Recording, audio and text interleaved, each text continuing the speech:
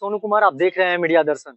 मैं अभी मौजूद हूँ सासाराम के सदर अस्पताल के ट्रामा सेंटर में और यहाँ पर विक्रमगंज अनुमंडल से एक डेड बॉडी आई है, जो विक्रमगंज अनुमंडल के कारा पुलिस बताए जा रहे हैं और उनकी पहले से तबीयत खराब चल रही थी और उनकी मौत हो चुकी है और यहाँ पे उनकी डेड बॉडी आ चुकी है। मैं आपको बता दूँ कि तबीयत बिगड़ने से उनको विक्रमगंज ले जाया गया जहाँ से डॉक्टरों के द्वारा सासाराम सदर अस्पताल के लिए रेफर कर दिया गया और सासाराम सदर अस्पताल उनको लाया गया जहाँ डॉक्टरों ने उन्हें मृत घोषित कर दिया। आइए बात करते हैं उनके परिवार से कि कैसे उनकी मौत हुई है। क्या नाम है आपका? मेरा नाम संजीव कुमार प्रभार रचित अस्पताल के पद हवलदार के पद पर हैं विक्रमगंज में। आप यहाँ पर किसकी लेकर आए कचपाल देवनंदन रजक हैं।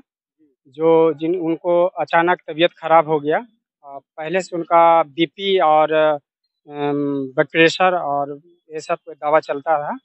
और अचानक ज़्यादा तबीयत खराब होने के कारण अनुमंडलीय अस्पताल विक्रमगंज इलाज के लिए लाया गया। वहाँ से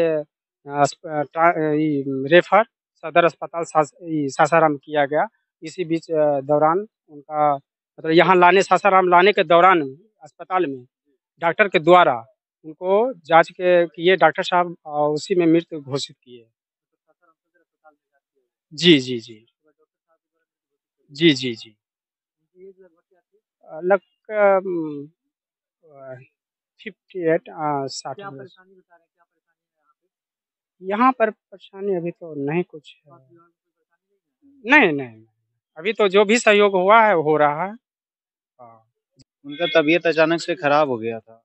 और चेस्ट में पेन पेन हुआ तो वहाँ से डॉक्टर को दिखाए तो डॉक्टर यहाँ ट्रांसफ़र किए तो अचानक से उनका डेथ हो गया। बताया कि डेथ हो गया। हाँ उनको बीपी का था और शुगर का बीमारी था। ये आपका विक्रमगंज में कार्यालय विक्रमगंज जे, जेल में। हाँ जेल पुलिस थे देवनंदन रजक। भागलपुर का। जी हाँ। दक्षराज एक ही है।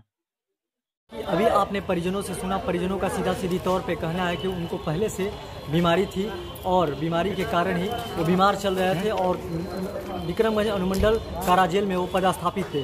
सीधा सीधी तौर पे कहना है परिवार वालों की कि उनकी मौत जो हुई है, बीपी, शुगर की वजह से ही हुई है और यहाँ पे पोस्टमार्टम का कार्य चल रहा है। तमाम ऐसे ही खबर देखने के लिए हमारे साथ बने रहिए। मैं मीडिया दर्शन से सोनू कुमार, धन्यवाद।